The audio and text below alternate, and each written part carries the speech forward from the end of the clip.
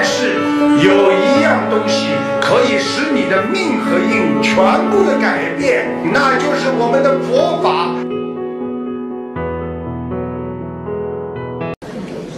感恩观世音菩萨，感恩菩萨台长，感恩菩萨师傅。我想问的是，我妈妈零九年过世的，叫周慧芬，周是周恩来的周，慧是智慧的慧，嗯，恩惠的惠，分是草字头的分。现在在草字头什么分啊？草字头下面一个分开的分。啊，分啊，周惠是恩惠的惠，对是车薪惠是吧？没有意，嗯，两个丰收的丰啊，不是，不是，这个是怎么说？是什么惠啊？智慧的慧，我不是智慧的慧啊，恩惠，恩惠的惠。是不是上面一个汽车的车，下面一个心啦？十啊？优惠的惠对吧？是？就是优惠的惠呀，对对叫车薪惠呀，对，嗯，叫周惠什么？草字头下面一个分开的分。什么时候走的啊？零九年六月三十号，零九年六月三十号，对是你妈妈是吧？对，走的时候很痛苦，他好像有说的，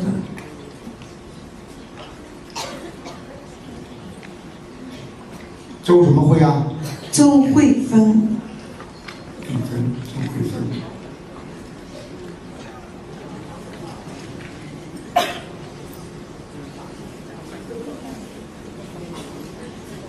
好，你给他念了很多小房子了，已经到了阿修罗道了。嗯，感恩师傅，师傅你我妈哎，妈，感恩师傅，在阿修罗道，谢谢师傅。那么我还要再给他去洗念吗？你当然给他念了，你能够看看能不能把他念到天上去啊？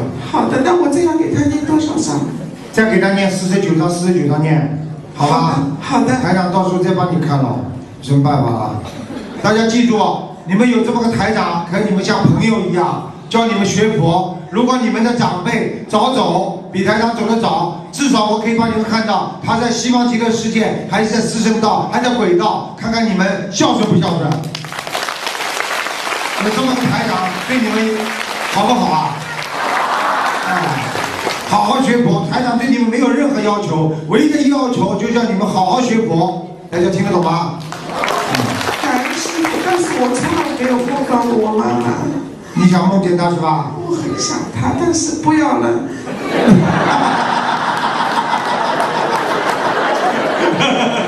叶公好龙啊！我很想她，人就是这么虚伪。我怕他掉下来，不是虚伪，哦，他他下来看看你就会掉下来我了。害怕他掉下来。你以为啊？要命！不会的，听得懂吗？好，还有我想，好，我想看看他，吓坏了。谢谢。好了，随缘吧，他来看你就看你了，不看你们就算了。好的，随缘，我知道了。嗯，我一定的，我就觉得随缘好。还有，我想叫师傅帮我看一下，我是五九年的猪，有没有灵性？还有，我要念多少小房子？啊，你有灵性啊，你的喉咙很不好，你的口腔经常发炎。对，我告诉你啊，哎我讲一句话好吧，好你不要生气啊我。不会生气，哎，你这个性格啊，跟你的属相有点像。很傻的。不是猪还不但傻了，还好吃懒做。你呀、记住啊，很懒的，早上爬不起来的。我很早起来的，不就早上十点吗？但是我现在不会再懒了。你很坦白，你现在是很好，因为你学佛了呀。你过去懒不懒啊？过去啊，嗯，好像好像很懒。